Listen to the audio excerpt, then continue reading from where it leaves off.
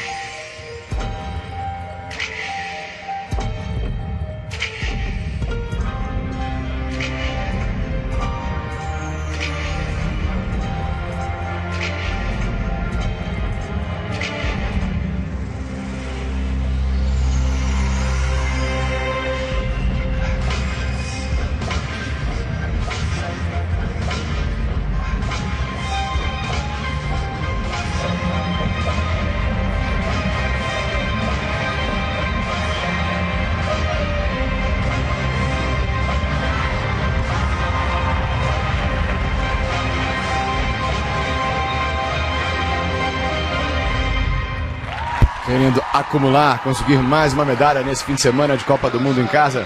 A eslovena Tiasa Kiselev, bronze ontem no salto. Ela acaba de se apresentar, abre essa final do aparelho solo, a última final feminina desse fim de semana.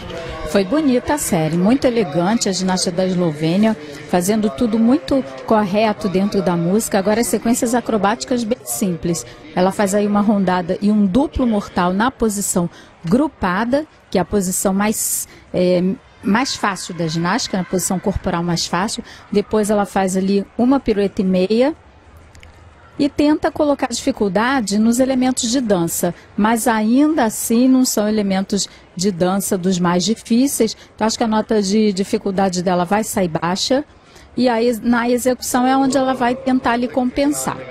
Mas eu acredito que vem séries mais fortes por aí a não ser que as ginastas errem, né? Você vê que aí ela faz uma reversão para frente, um mortal estendido com uma pirueta, salto de dança, tentando colocar o pé na cabeça, não consegue.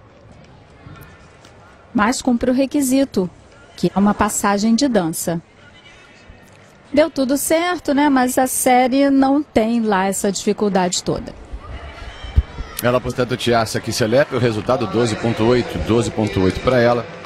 Pelo jeito vai terminar o fim de semana com bronze conquistado ontem no salto. A próxima a se apresentar, aliás.